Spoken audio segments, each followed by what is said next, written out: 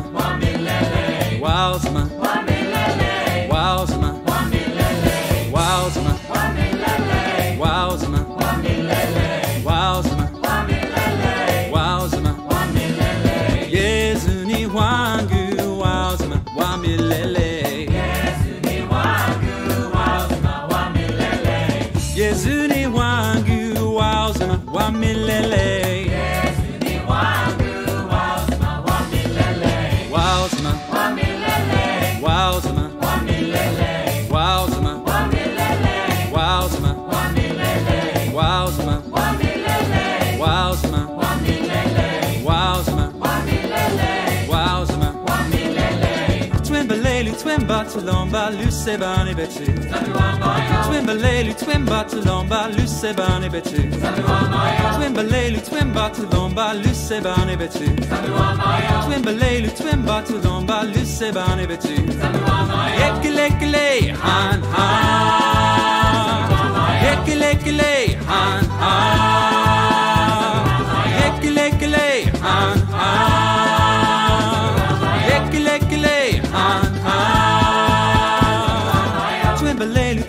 Tulomba, Lucéban et Béthune.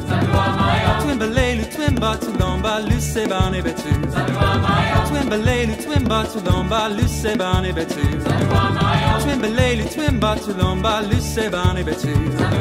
Ekele, ekele, ha.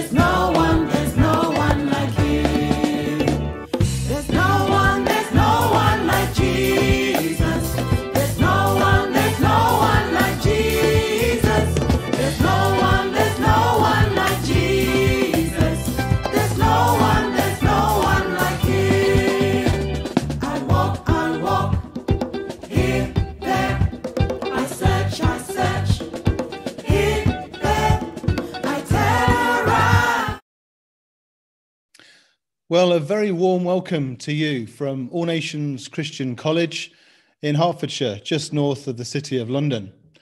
My name's Andy Dipper. I'm the Principal and Chief Executive of All Nations. And tonight we have a very special evening ahead. This is the 2020 Easneye lecture online, the first time that we've delivered this particular lecture online. And I'm delighted this evening that we have some very special guests with us to share on the very important topic of the impact of, of the pandemic for the mission of the church. Shortly, we are going to welcome uh, the Right Reverend and Right Honourable Dame Sarah Mullally, the Bishop of London, to speak. And we have a creative art piece from Endeavour 831, a theatre company. And then we have a very special uh, session from uh, Sri Lanka, where uh, uh, Prashant Visar will be speaking to us uh, from his experience of particularly looking at a, the response from the, from the young people's perspective, from a youth perspective, on what our actions should be in terms of our response uh, to our journey as people within the Christian world, particularly is in response to the pandemic.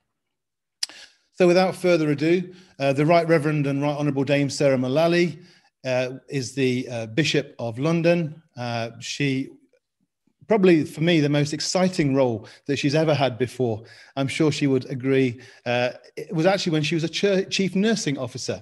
Uh, we had the privilege, my family and I, of being a close neighbour. We went to the same church. But it's delightful that um, her important role within the NHS continues in a number of uh, non exec roles that she continues to have. Bishop Sarah is married to Eamon, and uh, they have two children grown up. And she is uh, with us this evening to talk about this very, very important topic. So let me just pray first of all for Sarah, and then I'll hand over to her for the first of two parts of her talk. Let's pray. Lord God, thank you for the privilege of us connecting across the internet. Thank you for this session that we'll have this evening, where we really want to wrestle with these important issues of our time, understanding how we can be confident and responsive and providing hope in our world where there is so much that has changed in such a short period of time. We pray that you will bless Sarah and Prashan as they speak to us later on as well. In your name, Jesus. Amen. Sarah, over to you. Uh, thank you very much, Andy. Uh, it's um, it's a real delight uh, to be with you this evening. Um, and, and my only regret is that we're not meeting in person. But uh, one of the advantages of the internet is it does mean that we can connect from a much uh, wider uh, sense. Because of the pandemic, we find ourselves in the midst of a storm. And I'm often reminded that what we need to do as Christians is to take our eyes off the storm and place them onto Jesus Christ, who says to us, Take heart, it is I, do not be afraid. Take heart, it is I, do not be afraid. Uh, I sit this evening in the middle of London, very close to St Paul's Cathedral, uh, where earlier on this year I would have been ordaining 40 uh, men and women uh, into the Church of England. And normally the cathedral would have been full, but because of COVID 19, the services were very different. They're very small, only 30 of us gathered. And uh, in eight services, we ordained five men and women a time, very different. But the words of the service were exactly the same. And the words that I used in the midst of the pandemic, in the midst of this very different environment, reminded us that deacons, along with all God's people, are to proclaim afresh the gospel in each generation. We are to proclaim afresh the gospel in each generation. The gospel doesn't change, the good news doesn't change, but our context does. And the last 18 months have seen tremendous changes in our context. Uh, and this evening, I've been asked to explore the impact of the corona pandemic for the mission of the church. Firstly, I'm going to ask whether it's presented with our, us with missional uh, opportunities. Um, and then I want to look at uh, what it's revealed to us about the reality of a multicultural United Kingdom. So I'd like to start by suggesting that the pandemic uh, is both a crisis, but also it is an opportunity. Firstly, this is a crisis in the desert. So, in the midst of this crisis of the pandemic, I do believe that the Spirit is moving and that God is calling us to discern the new things that He is doing, and that in the midst of this wilderness, He will uh, make rivers run over this time, I think we've discovered uh, at least four things which lie at the heart of the church's mission and which we're being called to do differently worship, care of the vulnerable, our relationships, and of course, prayer. So I want to start with worship during the pandemic. If a year ago I were to ask uh, the churches in London to put their worship online, uh, you can imagine what they would have said to me. However, when the decision was made here in the UK to lock down, to close our church buildings, many congregations quickly turned to technology, rapidly upskilled themselves in order to offer digital access to worship.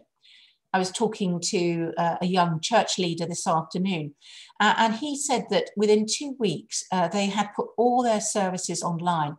And in fact, he'd had minimal spend. Their services still today is being streamed on his iPhone at re relatively uh, good quality. By June, there were more than 17,000 online services or events that were listed on the Church of England's website, A Church Near You. The Church of England's national services uh, have clocked up nearly 3 million views over the last eight months. And, and what maybe um, was most unexpected, uh, unexpected was that about one in five people viewing those national services were those who attended church either infrequently or not at all. This crisis has given us an opportunity to connect in a deeply troubled time with those who may never have heard the words of Jesus, the words of his encouragement, in the midst of the storm. Take heart, it is I, do not be afraid. Uh, in common with many churches, St. Peter's is a church near Seaford in South Essex, the sort of south of uh, England. And they had a, a real minimal presence uh, online before the pandemic. Um, but when they began to stream worship on YouTube, uh, they found that they began to develop followers on Facebook. And their followers jumped from 50 uh, to 230. Now, St. Peter's is describing itself as a hybrid church. The rector, Arwin Fuchs, has said, I am genuinely excited for the future as we open more. I have this great sense in my soul that the best is yet to come. However, in the church, as in many other contexts, the move to digital connection has revealed social and economic disparities a colleague of mine uh, tells of an Iranian refugee here in London una- unable to access the Zoom service offered by his church because he doesn't have sufficient broadband or data.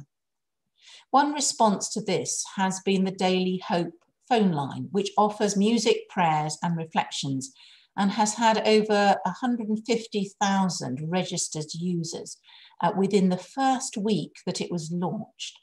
Local churches too have found uh, alternative ways to connect with those who cannot join them online. They send cards, they make telephone calls. Yes, they make telephone calls by that thing either called a, a landline or a mobile phone. Uh, and they've organised uh, socially distant prayer walks around churchyards. As well as presenting new opportunities, hybrid church, a mixture of online and in building worship, requires additional skills and resources. The challenge and the opportunity now will be how to sustain this mixed mode beyond the pandemic. One of the uh, facts uh, uh, that we found is that whilst our online presence in the Church of England has gone up, uh, we have lost people in our buildings when they were open uh, during the pandemic. So one of our challenges will be how do we connect those people who have joined us online to our communities? And how do we uh, refine those people that maybe we have lost contact with? Durham Cathedral uh, in the north of uh, this country has launched an online community prayer for its new virtual digital con congregation. Those of us who have only ever been involved in church uh, which meets in buildings, have become aware of the long established online congregations. There are many online congregations who have been there long before we ever found our way to it during the pandemic.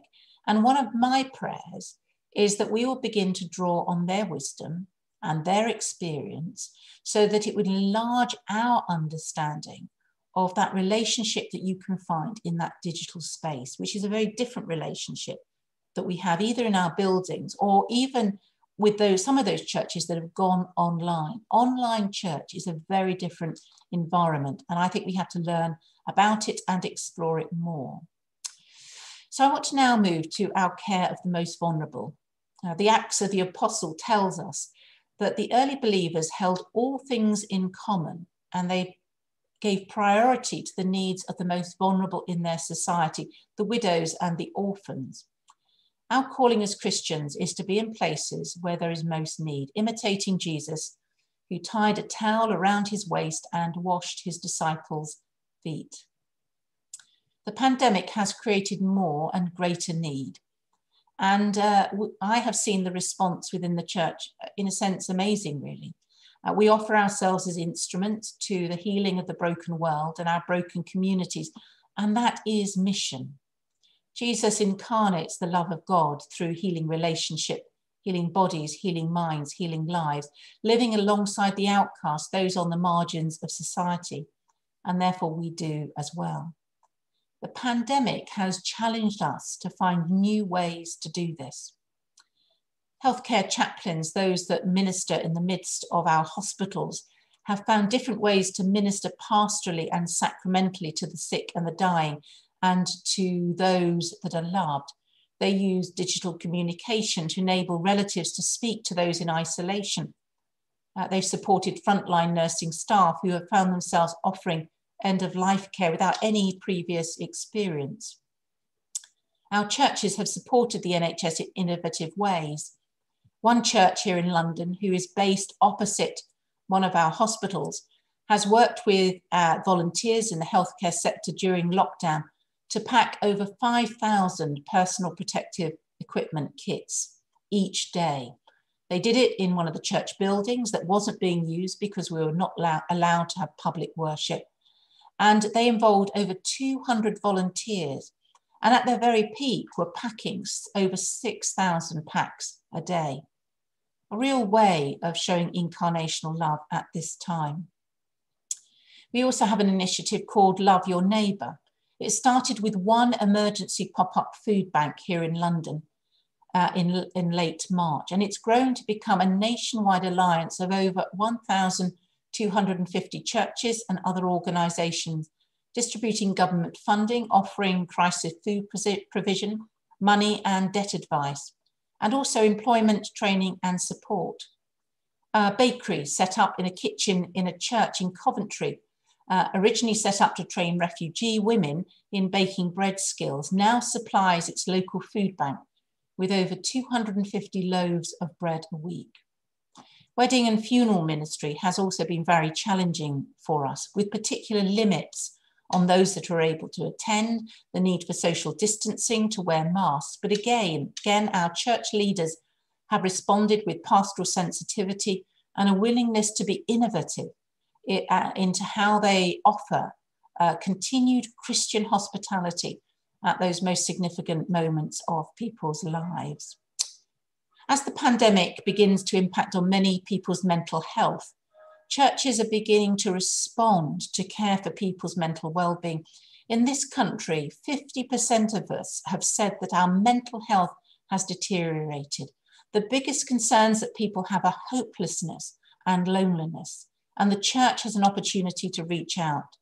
There is a church in Liverpool, uh, up towards the north of this country, who've responded by running an online course teaching mental health resilience.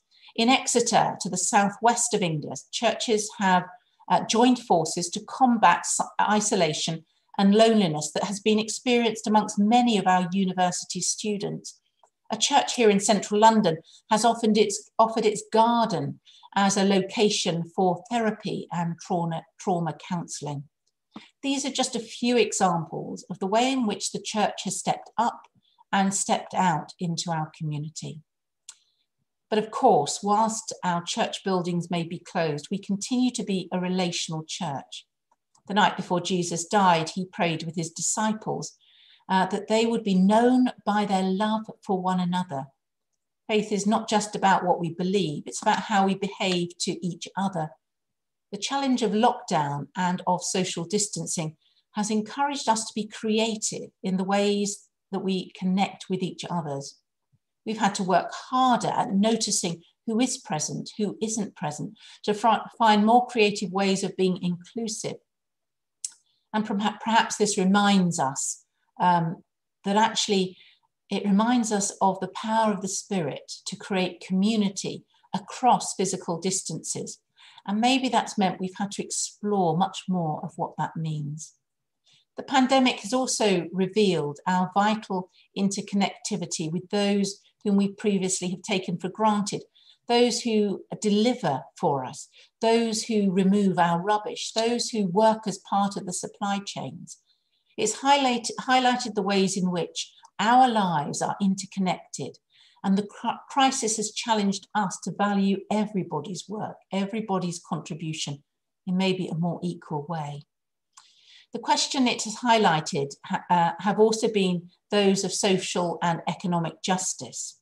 And in a sense, for me, the, the default lines that have just been revealed by COVID 19 uh, should reignite our fire for social justice, uh, which of course is grounded in the words of the Magnificat in the cries of the prophets. I met recently with some clergy whose lives were particularly challenged by the pandemic because either they or a member of their family were particularly clinically extremely vulnerable. And of course, they have had to take particular um, caution during this time. But I hope that we might be increasingly challenged by their experience. We should recognize that we have much to learn from those whose lives are shaped by the constraints of long term illness, of ill health, and of disability. Uh, they are engaging in deep theological reflection, and I would hope that we begin to learn from that reflection, to learn what it means to flourish while sick, uh, what it is, uh, what is necessary for true well-being, and the truth that we may live with our limitations, but still find wholeness and life in all its fullness. COVID has stripped us of many of the add ons on our lives, the trappings of our life, which sometimes we've allowed to define us, our social lives, our holidays, our freedoms to shop for everything uh, we want at any time. We've been brought to a place where uh, we have to recognize who we are without all those thr- thrills, thrills, that we are that child, beloved of God. In services of confirmation in the Church of England, I use those wonderful words from Isaiah uh, that God has called us by name and has made us his own. And maybe in the midst of this pandemic, we are better able to understand who it is that God calls us to be a child beloved of him. And so finally to prayer. One of the effects of the first lockdown for some was an appreciation of a pared down simplicity of our lives. People have spoken about their spiritual awareness deepening during that time, perhaps because our greater uh, immersion in nature on our daily walks, or that increased spaciousness of our lives with certain activities that were just not possible. Apps offering daily prayer or on the online office uh, have uh, found, been found to be of particular significance at this time. The Diocese of Salisbury, which is in the southwest, developed local prayer spaces by setting aside outdoor spaces to visibly encourage those seeking to pray. During the second lockdown, some of the churches have been able to remain open for individual prayer, recognizing the central nature of prayer, not just to our Christian life, but also our communities. We still have more thinking to do about the ways in which we connect spiritually with one another uh, as the pandemic continues to challenge our connectivity. But one fundamental resource for doing this is through intercessory prayer. Prayer for one another has felt uh, perhaps more deeply and urgently and more sharply focused than any other time. The Archbishops of the Church of England and myself have suggested that during this second lockdown that we all recall uh, some of that fundamental uh, spiritual life, the fundamental disciplines that shape our Christian life, encouraging people to fast and to pray for our nation and every nation, to pray every Thursday, uh, and particularly to stand together in prayer at 6 p.m. I'm reminded of Moses in Exodus 17, uh, relying on Aaron and Hur to support his tired arms. Uh, he raised his staff and praised, prayed for the Israelites in the battle. Perhaps this time of pandemic is teaching us how to pray for one another better more intensely and more deeply.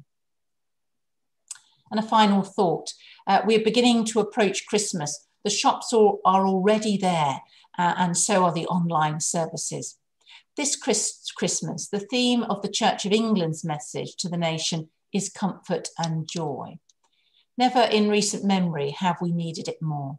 The pandemic has undoubtedly been a crisis for mission in the challenges with which it faces us.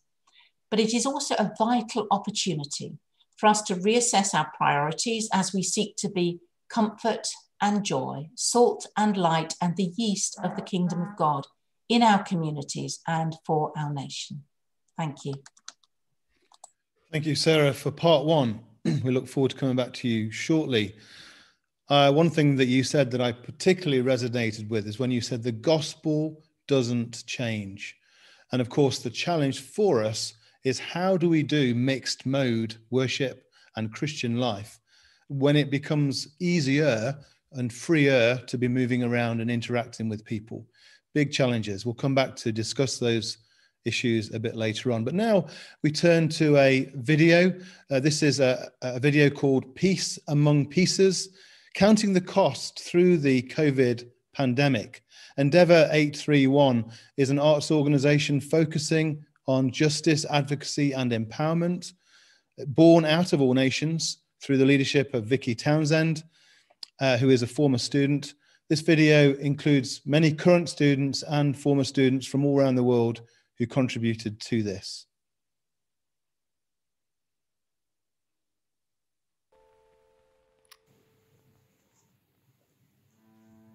Waiting for an algorithm to define the rhythm of our lives a line to dance upon a graph, then makes all plans capsize. This boat we're in sways sinking slow, up on the waves it's on. No Noah's Ark or lifeboat rope can save the damage done. Upon our knees, we plead the need for more and more relief. With these empty chairs around the table, with eyes that cannot see. Little girls without a mummy, as little boys go hungry teenage hopes of diversity fall flat in flats, fake university. Chemo appointment, funeral announcement, standby with no relent. Marriage at home, miscarriage alone, a red carpet's defense. One parchment paper, one mediocre version of events. Cold fingers curled, our fears unfurled wrapped around our freedom's fence. The lowly and the lonely come, just as we are, we come. Now, to this winter, we pray. Be closer to us Your kingdom come. Strength to strengthen, the breath procured, stronger than sanitizer, pure. Fall like rain of blessing here. You're more than a vaccine, you are the cure a social distant society, broken piece by piece. Please come, respond, be our hopefulness. Here, kom wees onze vrede. พระองค์เจ้าค่ะขอพระเจ้าทรงเป็นสันติสุขของข้าพระองค์ Señor ven y sé nuestra paz. ขอพระเจ้านำสันติสุขมาสู่เรา主よ私たちの平安となってきてくださいขอพระเจ้านำสันติสุขมาสู่เรา Herre, kom och vär vår fred.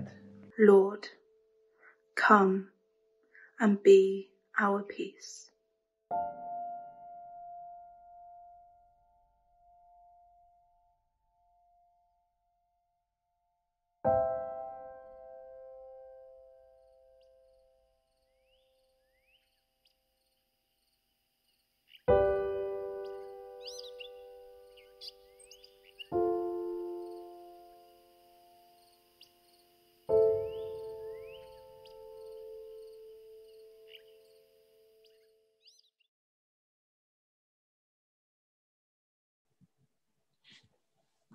Great. Um, uh, well, welcome back, and it's uh, what a what a great uh, clip that is. I found that um, very moving.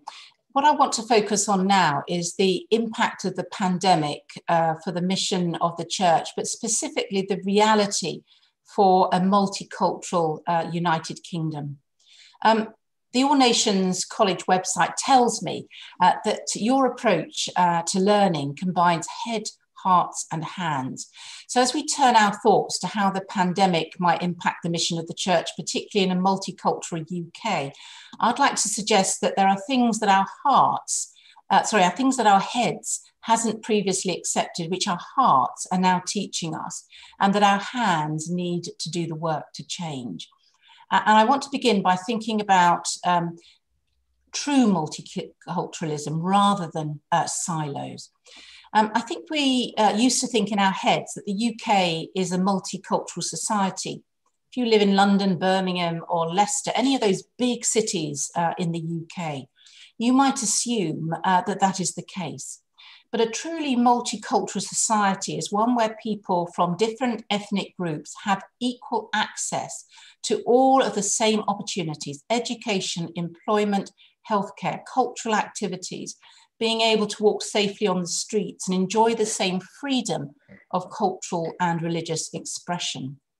How we have lived in the UK in the past is mostly, I believe, in cultural silos, existing alongside one another rather than in community together. And this is what people of colour tell me.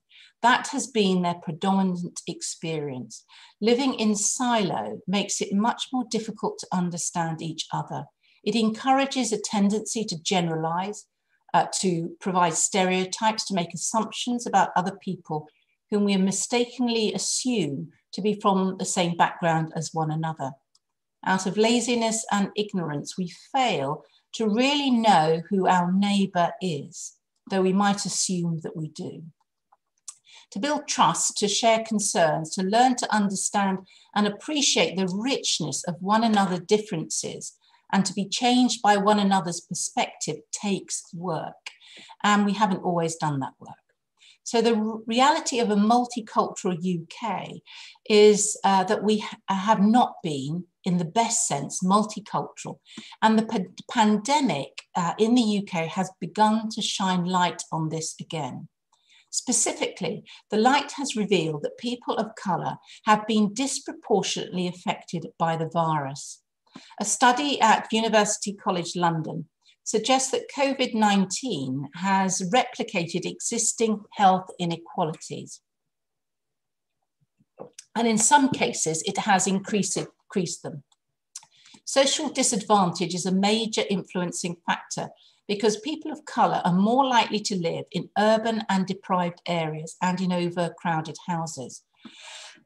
they um, have less income projection, and the jobs that they do expose them to a higher risk of contracting the virus.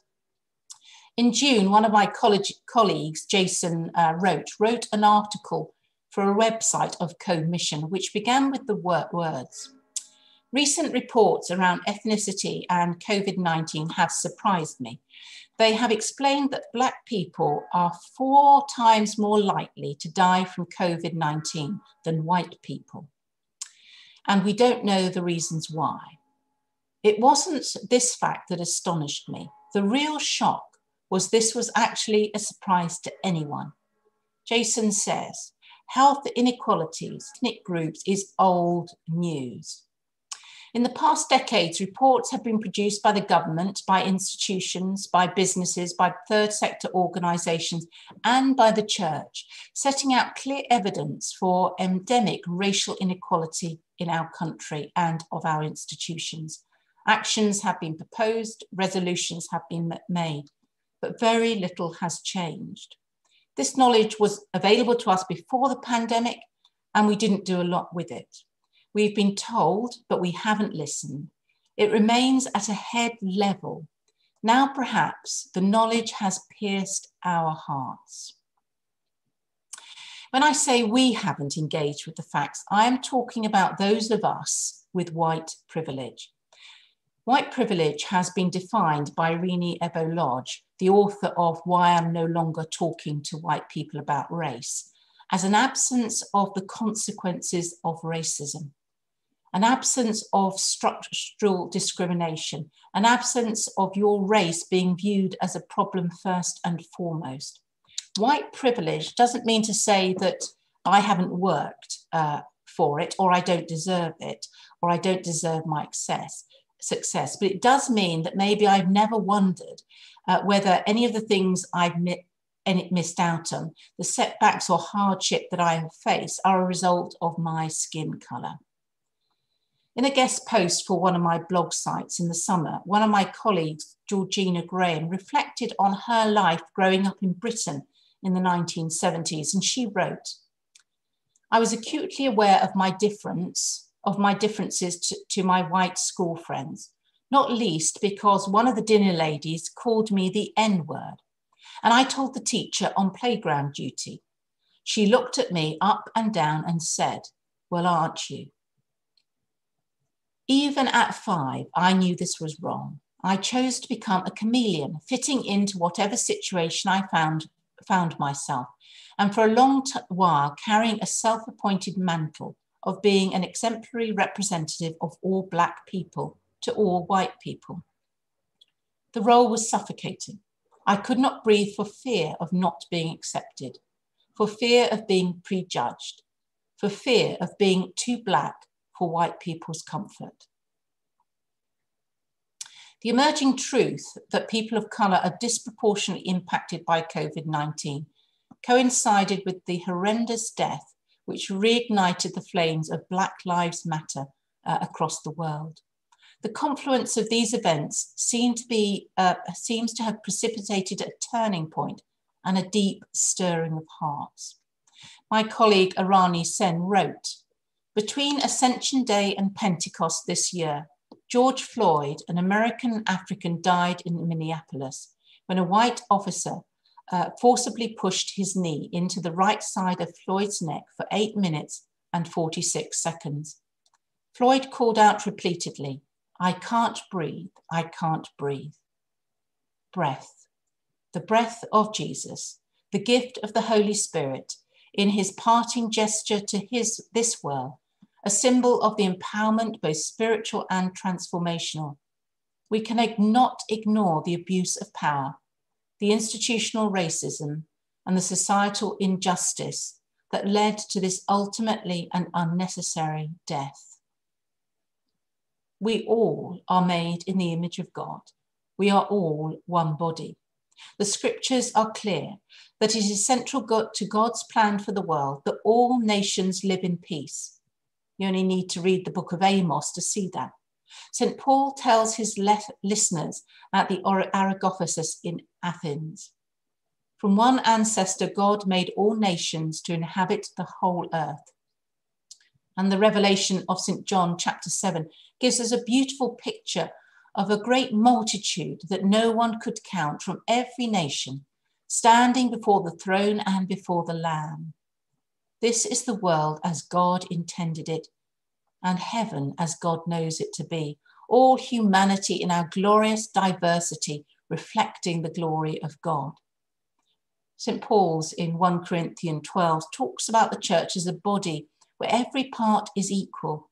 And yet, throughout history, Black bodies have been abused and disregarded. People of colour have been treated and are still treated as though they are less important, less important part of the body, a dispensable part. Again, uh, Georgina Graham wrote, Black lives have not mattered. They have been undervalued, underrepresented in the powerful, and, and overrepresented in the persecuted. So, what do we need to do with our hands? We need to build a society where everyone breathes freely and lives fully uh, the life that God intends for them. I know that I am a white person of white privilege. I have institutional influence. I have establishment power. What is it that we need to do, therefore, to build a world as God intended? I know that unless those of us who, who have those things that, that are about power and influence and privilege. Unless we acknowledge them as our reality and take action, then very little will change. I am acutely aware of the danger of virtue signaling. signaling. If what I say is to have any worth, I need to act on what I know about my own institution when it comes to racial inequality and injustice. Justice. If church leaders are to speak into a society about these issues, which I think they must, we must at the same time be putting our own house in order. Ben Lindsay, in his challenge to the church, we need to talk about race, talks about how exhausting and bruising it can be for people of colour to seek full integration into church communities. He writes about integration fatigue, microaggression, and the presumption, presumption of incompetence that is the experience of being assumed to be incompetent because the colour of your skin. He comes to the depressing conclusion people have legitimate reasons for thinking twice about pursuing a career in church leadership we become full, full of self doubt and often become disheartened heartened and reserved. This experience is echoed by Azariah France Williams' account in his startling, startlingly revealing book, Ghost Ship, uh, which is about institutional racism in the Church of England. This year, the Diocese of London, so it's the area that I look after, which is sort of north of the Thames in London, uh, 24% of those being ordained uh, were people of colour. That is double the numbers last year. I hope that it is a step in the right direction, but I know that it is only a beginning and it is not good enough. We began from a very low baseline, so we have a long way to go. Knowing this, we are committed to racial justice through three areas of work in London education, empowerment, and rep representation. We need to understand the scale of the pro problem, educate people about racism and unconscious bias, listen more intently, change our processes where needed, and to be proactive in ensuring the involvement of people of colour in every aspect of church life. As an ordinand, Augustus Tanner-Ihm said in a sermon which won at this year's Theology Slam competition Accessibility is being able to get into the building. Diversity is getting invited to the table. Inclusion is having a voice at the table. But belonging is having a voice heard at the table.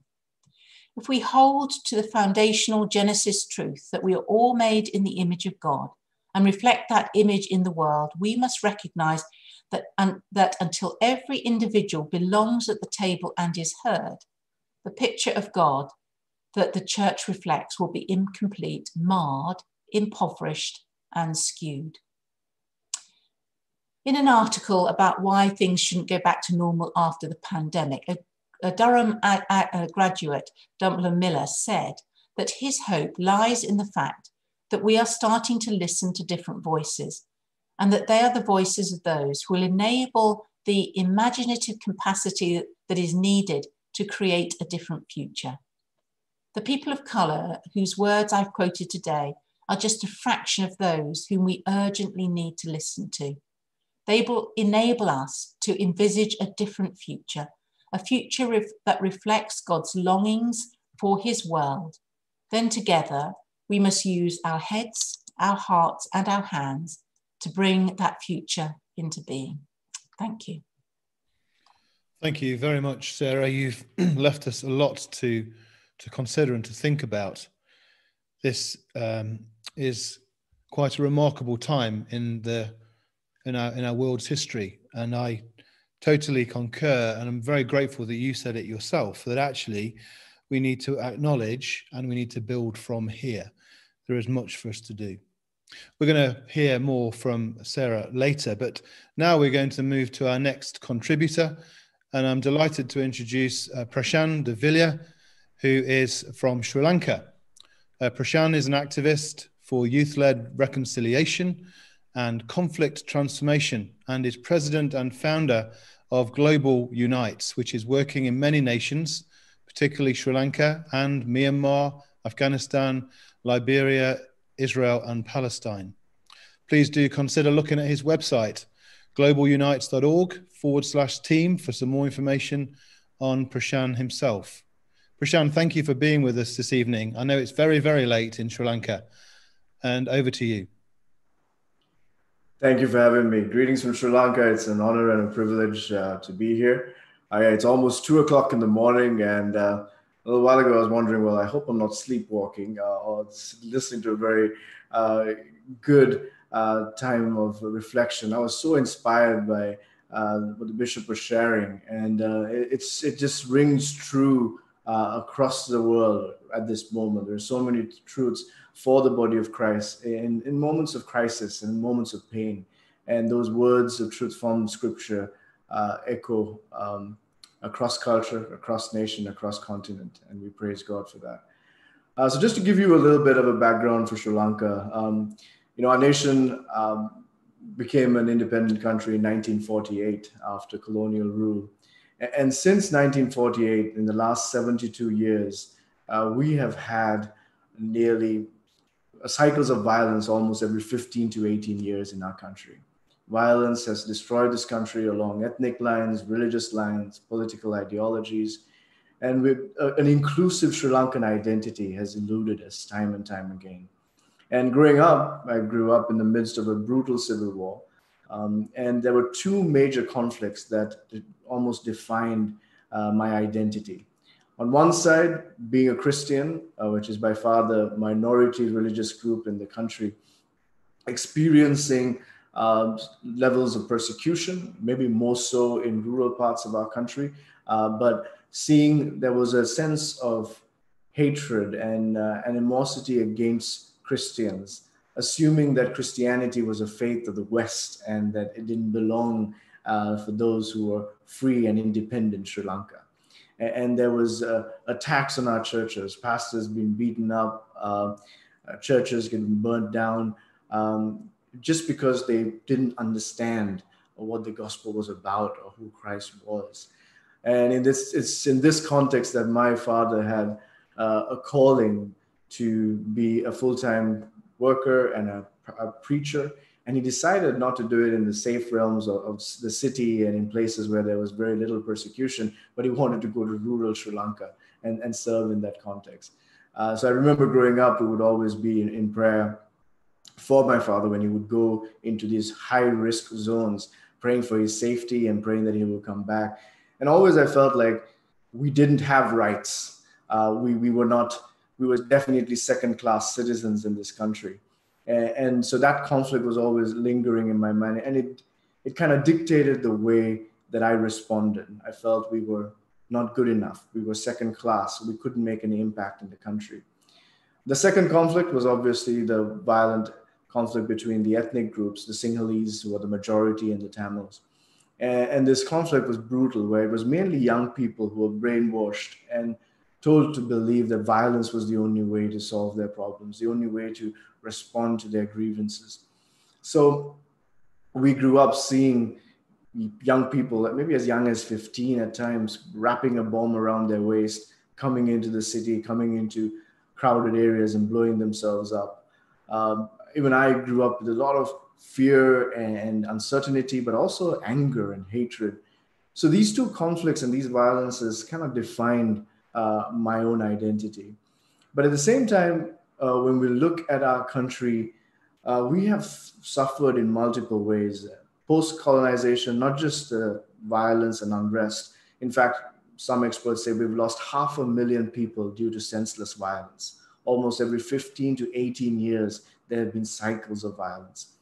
In addition to that, we've been traumatized by a tsunami that, that took away uh, we were the country that was most impacted by the, the tsunami that took place in Southeast Asia. Um, and at the same time, we've had uh, just 10 years after the war came to an end, and as we were looking to celebrate the end of the war, uh, we had the Easter Sunday bombing that happened last year, where people who just went to church to celebrate the resurrection of Christ died untimely deaths and gruesome deaths. And so it's been one traumatic incident after the other and then hits the pandemic. Uh, our, our, society, our economy, has every, everything's been impacted. And all of this has led at times to a spirit of fear and a spirit of looking down on who we are as children of God. It doesn't say that we are children of God just when times are good, or if we're born into privilege, or if we have resources, or if we live in a country of stability. We are children of God because of Christ, regardless of where we are, regardless of the circumstances. And He is our God. He is sovereign. He is seated on the throne. And we have the privilege to go to Him uh, in prayer and also to uh, receive our identity from Him as His children, as opposed to the circumstances we're currently living in or we have grown up in. And that's when I had a huge impact by reading the words of Paul to Timothy. And uh, 2 Timothy uh, chapter 1, verse uh, 7 and 9, where Paul calls out Timothy and says, Timothy, the spirit within you is not a spirit of fear. It's not a spirit of timidity, but quite the contrary, it's a spirit of power, of love, and of a sound mind. Now, Timothy had a tendency uh, maybe to feel like he was inferior or lesser compared to those in the hall of fame of the New Testament church. Uh, he was not directly associating with Christ. Uh, he was part Greek, part Jewish. Uh, and he may have felt like in the times of Paul's and the Peters, he, he was nobody. But Paul is calling him out and saying, listen, the spirit within you is not timid, is not fearful. But what is it? Power. And this word is dunamis. It's the way we get the English word dynamite. This explosive power, the supernatural power that God has invested in us as his children. That yes, the circumstances may say that we're overwhelmed and we don't have the capacity to respond, or we have no business even thinking of trying to respond. That's nullified by the fact that Christ invested his spirit in you and there is power. But it's not just power, there's love.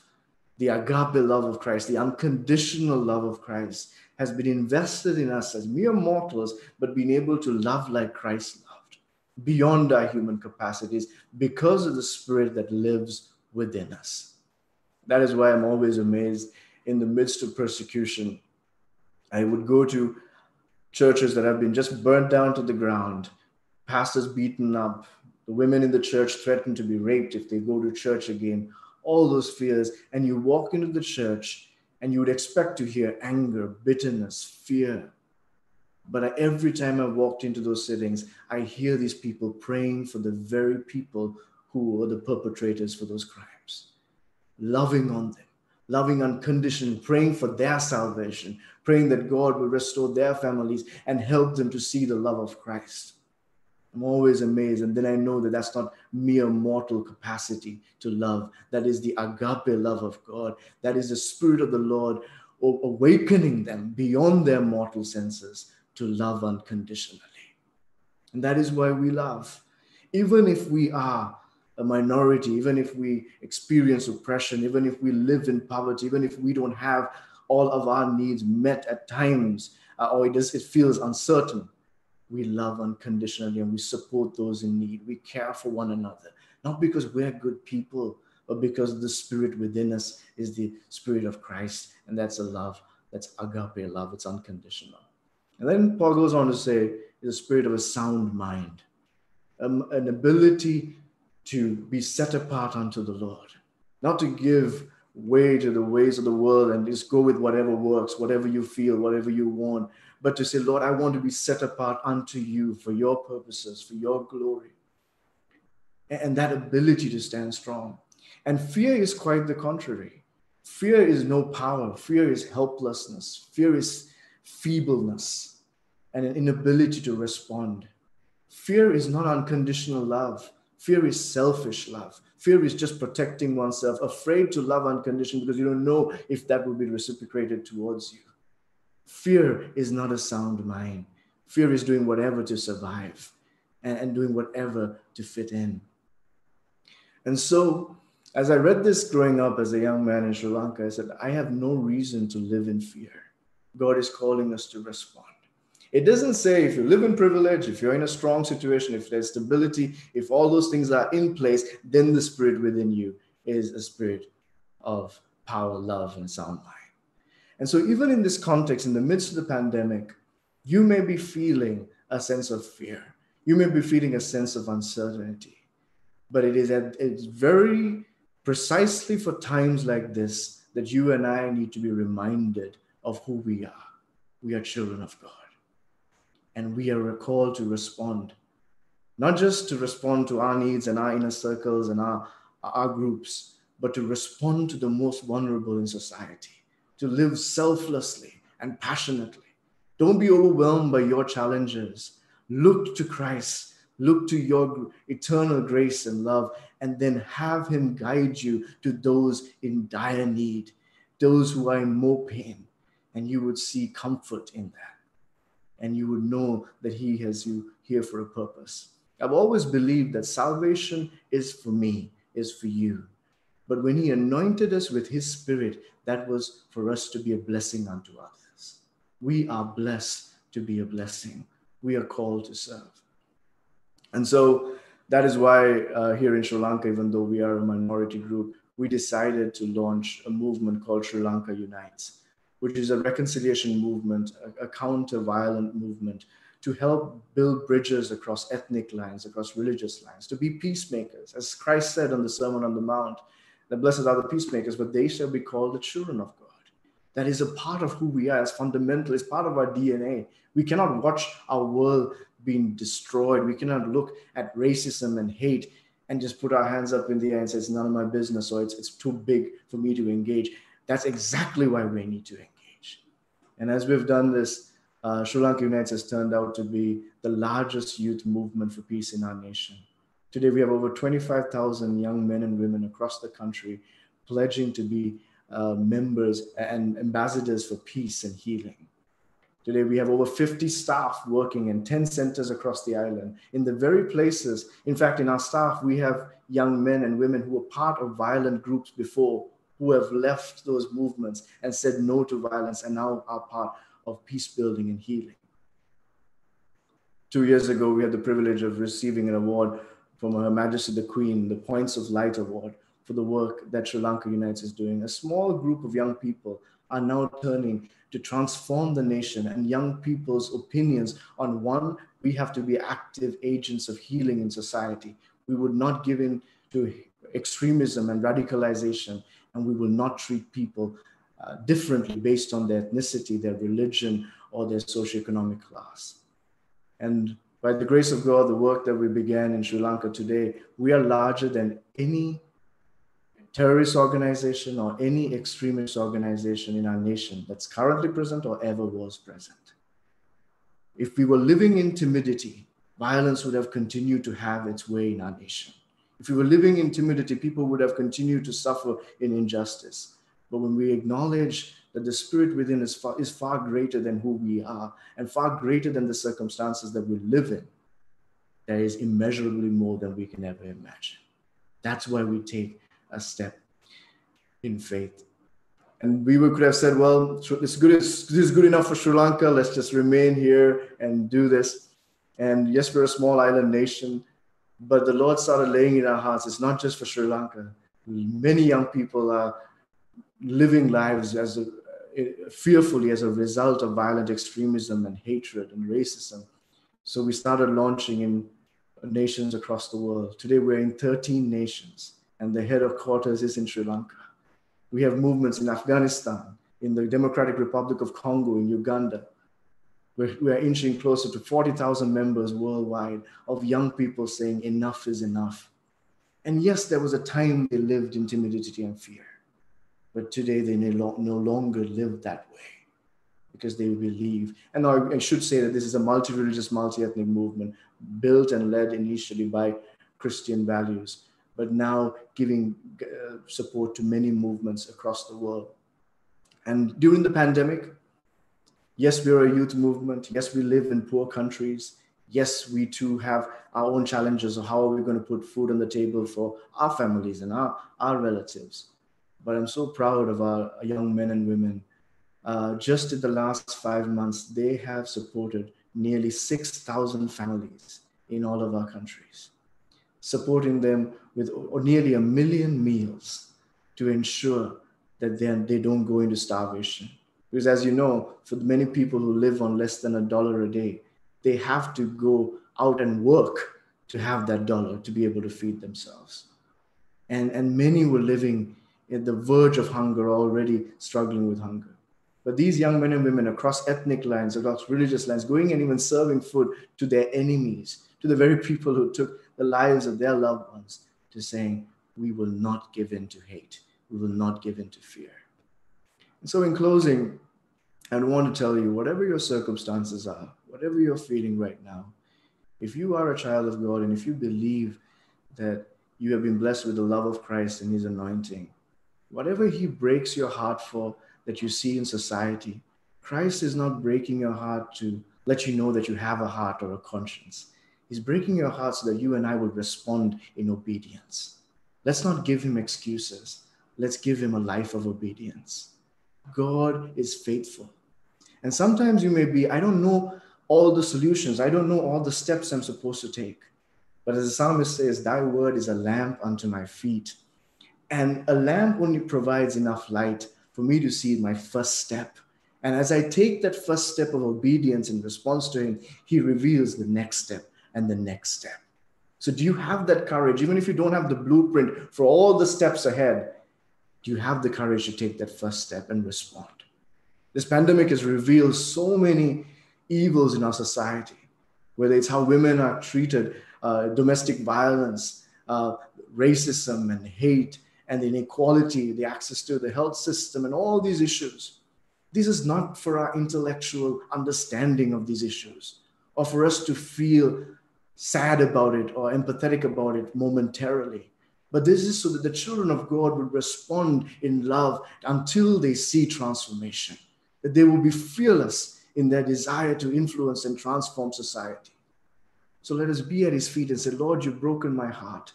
To now give me the courage to respond. Now give me the courage not to just respond once, but keep on responding with my life. Because we were called to be the light of the world, not the light of the church not the light within a subculture and in, within our comfort zone. We are called to go into those broken spaces and respond, not knowing that we are not the Savior. Christ is our Savior, and we are His children responding in His name. So, God bless you, and I pray that the Lord will anoint you and renew His calling on your life. And may this be a day and a moment in the midst of a pandemic that we will stand up and say, Lord, here am I. I will go. God bless you. Prashan De Visser, thank you so much for inspiring us and for, for showing us that there is indeed the possibility of hopefulness, overcoming fear in our world. You're proud of the 6,000 uh, families that have been helped, the million meals. Wow, we are incredibly impressed. And uh, I don't know if the UK is one of your 13 nations that you're working, but we need you in the UK, quite honestly. Um, we we have lots to do together. We're going to have a, a, conversation now, and just like to invite Sarah to join us as well. Um, but I want to start off, um, Prashan, with a question to you, and it's really around this issue of fear particularly in the pandemic. I, I, really hear that you said that that it's been a nation where every 12, 15 to 18 years there's been cycles of violence over so so many years. But what would you say to young people today that actually means that we should be um, confident uh, about sharing the goodness of God you know, especially to these young people in the midst of a pandemic and what is going to come right next. Can you give us some uh, some some wisdom really on how we should effectively communicate whatever country these people are in?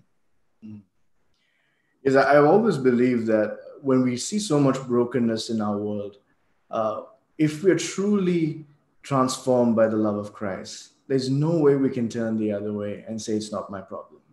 We have to respond and you cannot give excuses of how young you are, how inexperienced you are, how poor you are. It doesn't matter. God called you. He chose you. You didn't choose him. He chose you. And he wanted you to respond. And so when we do respond, you know, um, I, I, always quote, you know, the words of Francis of Assisi, you know, preach Christ at all times, use words when necessary. in, in these contexts, I, I believe that we need to go in and be the hands and feet of Christ and build meaningful relationships with people and then never shy away from sharing the gospel and the truth that we know in Christ as well. But what I've seen is at times there's this fear to go and share the gospel. But first, if you can go and live life with them, do life with them, care for them, show that you are truly authentic. You're not trying to manipulate anybody. You're not coming there with an agenda. You're not loving them only if they do certain things that you feel that they need to do. You're loving them unconditionally like Christ loved. And when we do that, then people become curious and they see the authenticity of who you are. And then you can share why you do these things. I do this because of Christ. I do this because Christ has saved my life. That's my that's my source. That's my foundation. Because in our context, you know, many non-Christians have come to know. Well, Christians do evangelism. They're going to come and preach the gospel. They're going to ask me to uh, give my life to Jesus, and, and so they, they think that there's some sort of ploy or some sort of manipulation. But when you then they really see us living life and saying, we really do care about you. We're not here just for a short term. We're here, we're committed. And when we do life for them, many of my friends, before I could preach the gospel to them, before I could share about Christ, they have asked me, Who is Christ to you? Where, how, why do you believe that there is salvation in Christ? And many of my friends have come to know the Lord as a result of that. And so I feel that's what the world is looking for, especially young people across the world. There's a desire for authenticity. There's a desire for people who are not posers. And when they see that, they would also see who Christ is. Thank you. The questions that we have are those that have been submitted by people ahead of time. So I want to come to Sarah now. And in a way, it's a similar kind of question. You know, it's inspiring to hear what Prashan says. It's really amazing to think, yes, the message is about building confidence. But mm. for you, Sarah, how, as we reimagine church with the impact of COVID, uh, and imagining how we are called to have an integral witness, word, deed, person, to the least, the last, and the lost. How are we going to do that? Well, I, I mean, I think um, you know it's not different from uh, the comments that Prashan has made. It's about relationship, and and that you know Christians churches are are part of communities, uh, and so that the need for us is to to build communities with people. it, it is all relational, um, but of course it begins with our relationship with God. So we will only do that if, in first instance, we've taken care of our relationship with God. That we are confident that we are children beloved of Him, that we've abided in Him, that we've listened uh, to to what He is calling us to do. So so our relationship first and foremost is is really important, but also then to live in our communities and to relate to them. And uh, and i think i you know i see that at the moment. Churches are there in the communities. They are providing food banks. They are providing debt uh, relief. They are relief they are uh, helping people not to feel lonely. And exactly uh, what has been said that's what you do first and foremost. And, and almost always people um, then ask you what your motivation is, or they come to you about uh, about your relationship with Christ and talk. Um, and, and we've talked about young people, and, and there's no doubt that, that life is hard for young people at the moment. And, and there are some really good examples in London here where churches uh, during the period have gone online with their youth groups. And, and actually, what's fascinating um, is that people have turned up who probably wouldn't have turned up to a physical youth group. They, they've come in on the Zoom and, and, and, and really creative, you know, uh, quiz nights, baking groups, you know, really creative ways that have just helped people uh, during what has been an isolating period. And that, first and foremost, they've been called to care in indeed. And actually, out of that, then comes the opportunity to talk about my faith and what motivates me. And, and I think that's so start with our relationship with God and then relationships with other people. It's often said, isn't it, uh, Sarah, that crisis accelerates the changes that are already underway within a given situation. Now we have COVID that has mm. really accelerated that. Yeah. So, what do you see as the key changes in our society and church that COVID pandemic has accelerated, and therefore that we need to think about continuing into the future? Um, I don't know if it, I, I think what I mean in, in a sense one of the one of the it's you know I mentioned this. One of the things it has done is it's shown us where some of our fault lines are. So I do think it has to be a fire to us to speak against injustice. There is no doubt in my mind that we can't allow the pandemic to pass and not to do something about those inequalities that we have seen and those because those that are most disadvantaged are being affected by lockdown and are being affected by COVID. And therefore, we have to be prophetic and uh, speak into that. So I, I hope we don't lose um, that imperative to do that. But of course, the other thing it's done is it's made us think about what is church. Um, and, you know, we have seen this huge movement to using technology. And I do think going forward, we have to ask ourselves what is it that we've picked up that we want to keep? What is it that we need to put down? And what do we need to pick back up? Uh, and uh, and I think we need to be be clear about that. You know, um, I talk to people who suddenly have found that they're back into a small group, people doing Bible studies that have probably for, forgotten about them for some years. Now, that would be great to carry on because actually it means you don't have to go out into the cold and the dark. You can do a Bible study online mm. uh, with a group of people.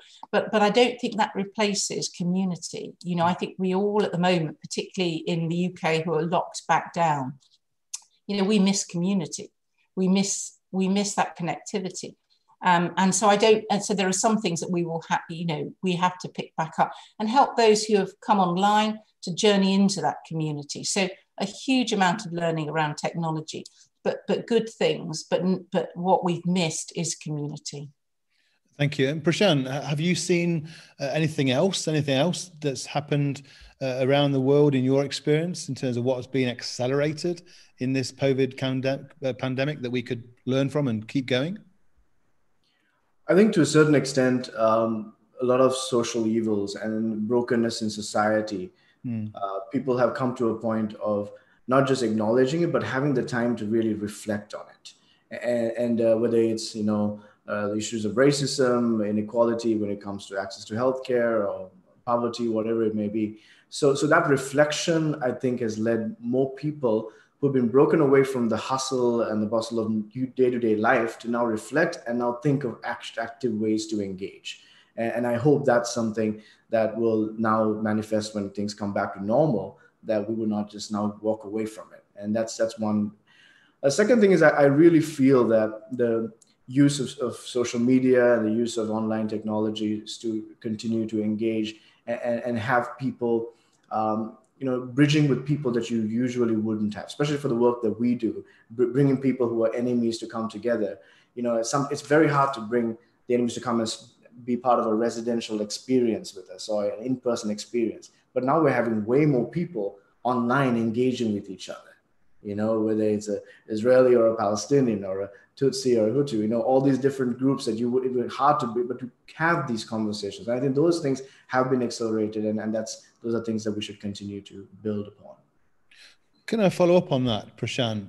We, um, Sarah spoke very eloquently about the impact, particularly of Black Lives Matter on the whole of the world. And we, we are absolutely shocked to the core when we look at ourselves and realize that there is a lot for us to all address, especially people like me that is white what wisdom do you think, what help do you think that some of the lessons that we're learning in the pandemic, perhaps to do with IT connectedness, what could what could help us find a pathway forward in this situation? Any wisdom for us all to share? Yes, I, I was. Um, I have the privilege of teaching a class on the theory and practice of peace building. I teach this uh, class in, every summer in the U.S., uh, and I always have the class of about uh, 10 African American pastors and 10 Caucasian pastors taking this class together. So obviously they're passionate about this. They want to learn about it. Uh, it's an elective class, so they, they sign up and they're there. But every year I, I give them this assignment where I want them to write 10 people in your life who are kind of your inner circle. Like if your if your son or daughter gets married, they're the 10 that you would bring in as your guests. You know, and so everybody writes that list. And then I ask them, would you please highlight anybody who is from a different race, uh, who tends to vote differently than you, who may be from a different religion or different socioeconomic background. And over the last four years, I've been amazed that the intersection has been almost less than 1%. most of the time people live in segregated bubbles. And, and as a result of that, it's not just like Bishop said before, it's not just um, it's easy to create negative stereotypes about the other and build uh, assumptions about the other. But it also makes us less empathetic for the pain and our common humanity. It deprives us of the opportunity to really celebrate that diversity and make our lives richer and to have more of a perspective and a broader worldview. So, why would we do that to ourselves intentionally when we know that we can do something about it? So, I really feel that when it comes to race, that's a huge challenge we're seeing. And I see that across the world where more and more people are becoming segregated. Unfortunately, in the United States, they say 11 a.m. on Sunday is still the most segregated hour of the entire week. And so, yes, we're worshiping, but even worshiping separately, not trying to find ways to engage. That I think is it's very dangerous. But at the same time, we have segregation, but then we also have the challenge of where we get our information and where we get our knowledge and our social media networks. So on the social media front, social, uh, social media algorithms just make sure that whatever you believe, whatever your opinions are, are solidified. They don't make you uncomfortable it's like a safe church. They're not going to preach any messages that makes you uncomfortable, so that makes sure that you keep on coming every Sunday. But this, the social media networks it gives you only what you want to hear, so you don't hear any of the perspective. And then you, the media that you watch, it's just the type of media that will enforce what you believe. And, and on top of that, that make, assume, gives you a false justification and a false sense of righteousness, a self righteousness, without being uncomfortable and saying, Lord, break me where I have to be broken and, and be uncomfortable because we have to be molded. And that it's a painful process. And it, regardless of the color of your skin and where you're born, we all have issues of, of racism. We all have issues of that. So go to the Lord every day and say, Lord, break me where I have to be broken. Don't let me comfort, be comfortable in this. And don't let me be part of the problem. And don't let me stand in the way of you bringing about healing and justice to our world. That's a very tough call, isn't it? to stand up and be ready to be broken. Um, thank you for that, uh, Bishop Sarah. Uh, another question that's come in from a uh, uh somebody from probably from a member of the uh, the Church of England clergy, I think. Due to the pandemic in our diocese, we're looking at a significant financial shortfall. Uh, in the next few years, strategically speaking, how does the church strike the balance between investing its resources innovatively in mission and in maintaining its traditional structures. What would you say to that clergy person? Yeah, I mean, I mean, uh, you know, as, as, we talked, you know, COVID is is bringing forward challenges that may have taken a few years to have happened. So, so, um, and one of those is going to be the, the financial challenge everywhere, um, and and so there is a sense in which we, you know, I believe we have to face in into that into that really. Um, my belief is that the um, best solutions are always known locally. So, so there's something about how we listen to those uh, in the churches. I'm also a great believer that people uh, you know, don't come to Christ through structures; they come to Christ through individuals. Uh, and so, so therefore, what, whatever we do, we have to say, you know, it has to support uh, locally um, the the local church. And I do think that that, that as a you know, the Church of England, probably like other churches, are going to have to face hard structures uh, sorry, hard questions about our structures. Any of our structures, what they should do is facilitate the local church. Uh, uh but one of the great things about the Church, church of England, um, and a lot of independent house churches would recognize this is actually there there is a what there is something positive about our structure about accountability about nurturing about support so so for me there is a balance to get with this but but i do think we have to ask some of the hard questions um, and so it's not one or the other. Uh, my, my vision slightly is that I think we're going to see a much more mixed model of the nature of church within the Church of England, particularly in the future. Uh, and I think that it, it's going to force something we should have done a long time ago and move away from a clerical model to one in which everybody is released for their ministry. Uh, and that means that uh, as, as a, an ordained member, I'm going to have to re-question my role because actually what we need is a church where where everybody flourishes and everybody has discerned what God is calling them to do. So, so I do think that the church, uh, Church of England, does need to change uh, what it looks like. Thank you very much. Well, we've we're coming rapidly towards the end of our time together this evening. Uh, three words that jump out to me from all that both of you have said is relationship, confidence, and I'm using this word now, which is pivoting really.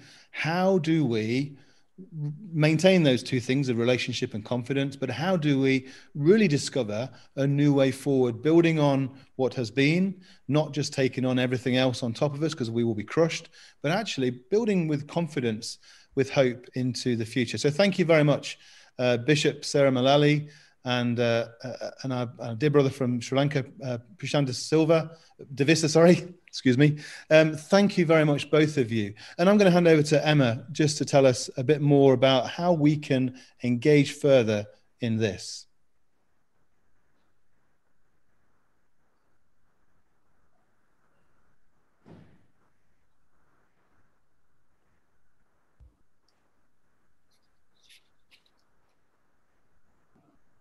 Thank you very much, Andy.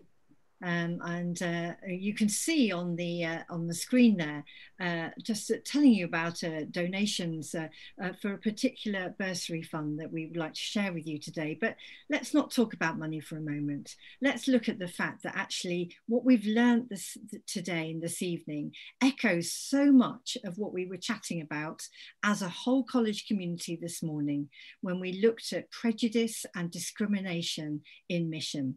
And so we were not wanting to keep our eye off the ball in terms of sharing the gospel, but we knew that we came with certain prejudices.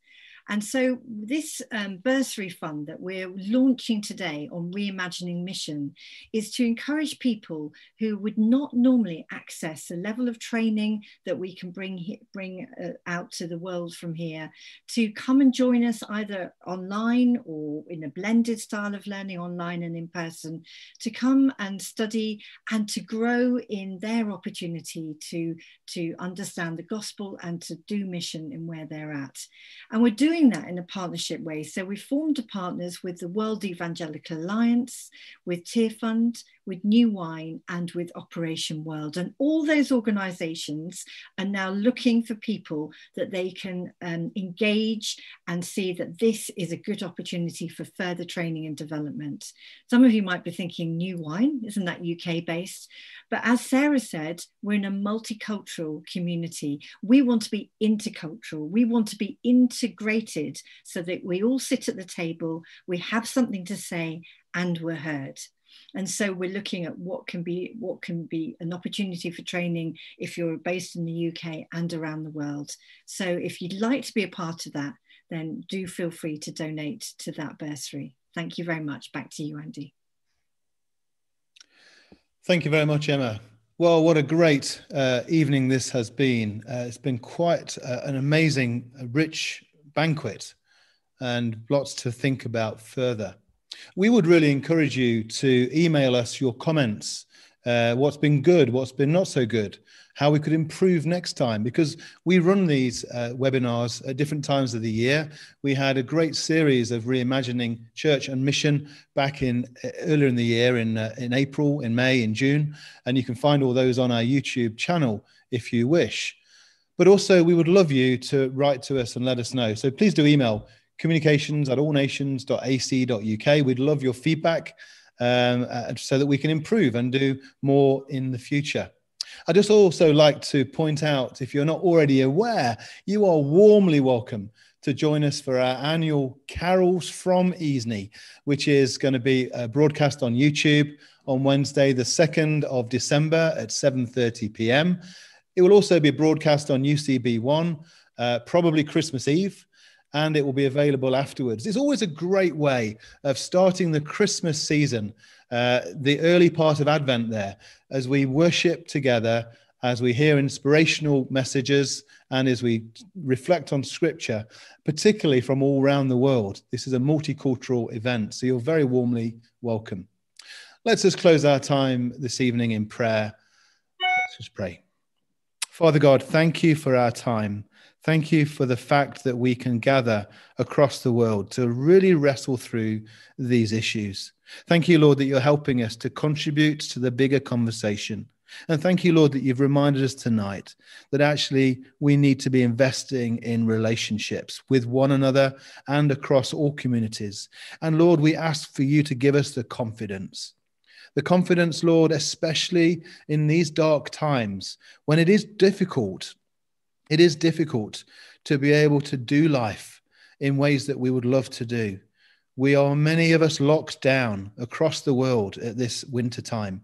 But we pray, Lord, for the light at the end of the tunnel. And we pray that we would pivot, that we would reimagine what it is to be a confident Christian in our world, to show your love, Lord, into our broken world. Because we believe that the gospel, eh, which is unchanging, is the hope for our world. And we thank you for being with us this evening. In Jesus' name, amen.